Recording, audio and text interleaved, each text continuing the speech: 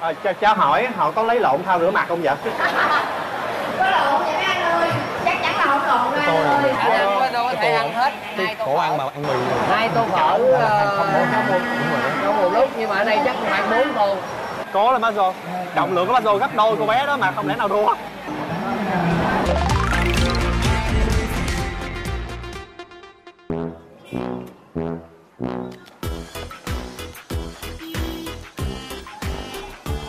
quá ăn quá rồi cả bây nhà giờ cũng bạn thấy thế nào rồi? Thôi, hỏi cho tôi cái gì à? Đói quá kiếm miếng. cái gì ăn còn tôi? Cái gì thôi?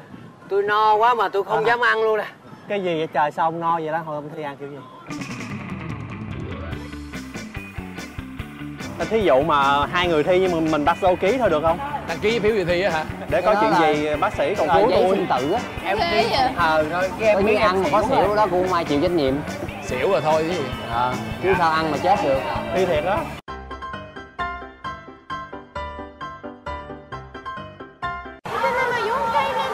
bốn lần lần thứ tư rồi ベトナムはやっぱり暑いけどでもあの皆さんが優しいですねあとご飯が美味しい không biết là từ khi nào bạn phát hiện ra cái khả năng ăn uống của mình と4年前ぐらい34年前から大食いができるようになりました普段は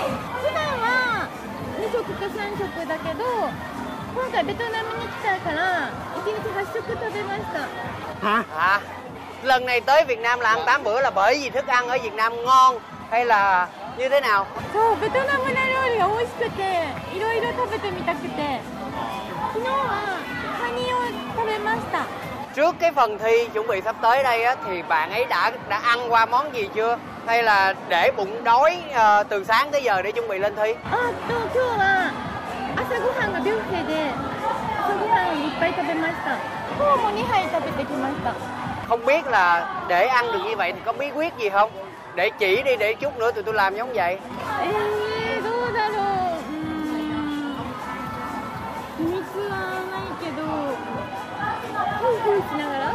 中でジャンプしたり à nhảy không biết người bạn ấy nhỏ như thế này thì bao nhiêu đồ ăn vô đi đâu hết rồi 料理食べたらお腹の中のあのボーイフレンドが食べてくれます có khả năng ăn rất nhiều thì tôi biết rồi nhưng mà ví dụ ăn một món điển hình là như ăn chuối đi thì bạn ăn được tối đa là bao nhiêu quả chuối?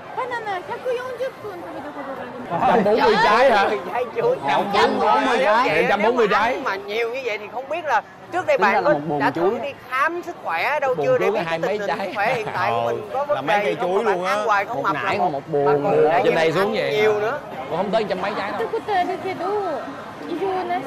không sao hết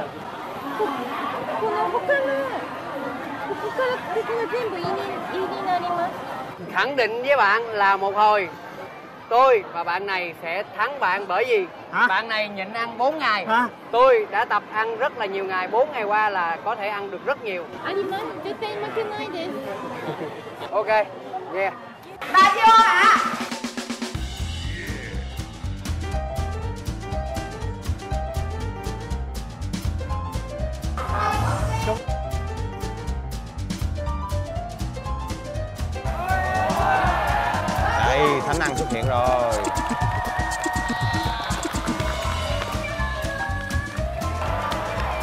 Dễ thương ha.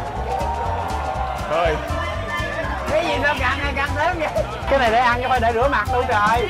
Mai thì khách ngồi đặc biệt của chúng ta đây. À, xin chào. Ba vô. Anh cảm thấy thế nào? Tự anh thèm phở quá tự tin thì không tự tin nhưng mà hiện tại giờ đang trong đầu á làm sao cắt cái tô phở này làm sao cho nó vừa được cái bụng? À, cho, cho hỏi họ có lấy lộn thao rửa mặt không vậy? Có lộn vậy mấy anh ơi Chắc chắn là không lộn đâu anh ơi thể ăn hết? Hai tô khổ ăn mà ăn mì rồi. Hai tô phở ờ, trong một trong một lúc nhưng mà ở đây chắc khoảng bốn tô.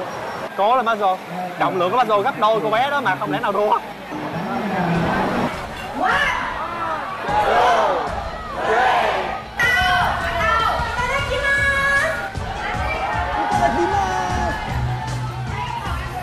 phở bò hả gồm? Dạ. Tái nạm gầu và viên à vậy là thập cẩm luôn rồi. Dạ cái tô nó có 5 kg anh. Kìa cái cách ăn của ba kìa sáu. À, 3 kg 6 cổ ăn là ăn một lúc ngồn ngồn như luôn. Không để tốc độ chậm không? Wow ăn ngon lành vừa ăn vừa giỡn luôn anh chứ không phải là ăn quen rồi. Mà ăn nhìn thấy mặt tươi mà cổ ăn là cổ ăn cái trước. Ờ, em có một cái nước rất là độc đáo đó là em ăn thịt trước còn bánh em tính sau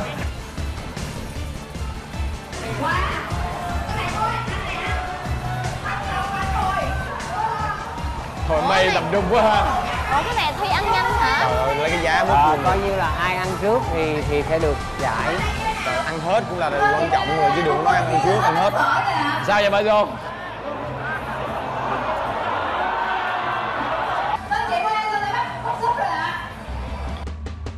muốn xỉu luôn rồi. Chiến thuật của em là xong em ăn hết thịt rồi đó. Bây giờ còn bánh rồi đó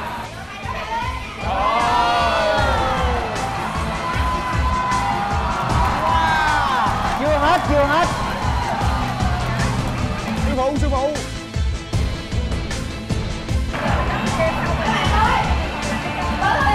Thật sự tôi không hiểu một cái lý do nào mà cô bé một cô bé nhỏ nha.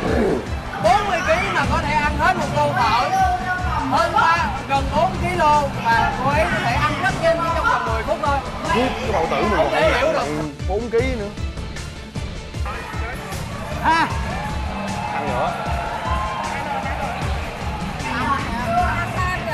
mình nội tô đó mình đã no rồi đấy.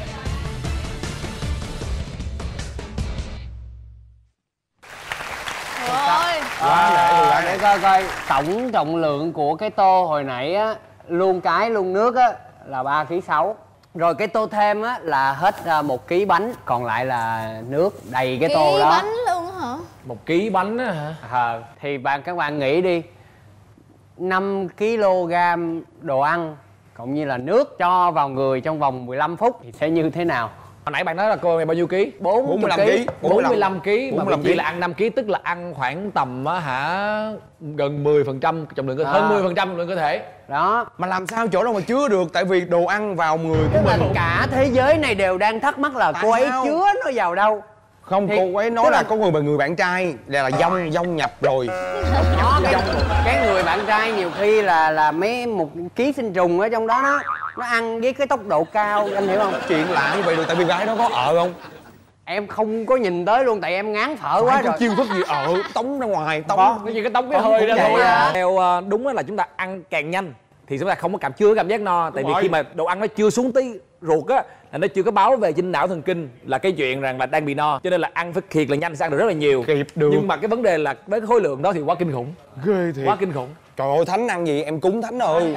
Nhưng mà cổ tập thể dục không? Thì cổ nói cổ cổ nói là tôi chỉ biết ăn và cảm nhận là ok đó là ngon thôi. Còn cái chuyện mà no thì tôi cảm thấy không no và tôi cũng chả qua một cái cái, cái tập luyện gì cả thì bạn ấy có đi quá. khám bác sĩ đàng hoàng là bác sĩ kêu bình thường. Tôi chỉ biết ăn và cảm nhận nó ngon thế là đủ. Em nghĩ là cô này mà đi ăn buffet là không bao giờ lộ. Đúng. Đúng mà bây giờ đó là tất cả Nhà các nhà hàng hàng lộ. đều muốn là mời cô ấy về ăn thử cho cho thực khách thấy là cái mức độ là nó nhà hàng nó Ngon. ngon cỡ nào đúng không? Bây giờ tôi hiểu ra được một Mình điều cứ tưởng ăn- tượng đi. ăn để kiếm tiền nó Một như thế mình- nào rồi đó. Một mình mình ăn à, là một nải chuối đi. Là bị chi khoảng cỡ hai chục trái, 20 trái. là hết Muốn nổi luôn rồi. rồi anh cổ ăn 140 trái Cô ăn nguyên một cây cây chuối. Cô ăn chắc nát cái cây chuối luôn á. Thôi về nhà tôi thử mới được phải thử mới được. Rồi anh ơi, em nói cho anh nghe Cái trường hợp này là cái trường hợp cá biệt. Bởi vì biệt, người ta đặc biệt, mới được phong là Thánh hàng Cho nên mình để để mình đạt tới trình độ thánh thì chắc Tôi phải tốn là. kém dữ lắm Cho Tôi nên là thánh dạy, Cái chuyện này thử. anh đừng nên thử ở nhà. Bái phục bái phục. Dễ sợ. Sao ăn mà có bây thể giờ ăn phở không bà vô Ơi, Ê tự nhiên đi thèm phở Ê phở chỗ nào ơi khỏi luôn. Đừng có nhắc cái chữ phở với tôi nữa. Ông bị già trước tuổi anh hiểu không?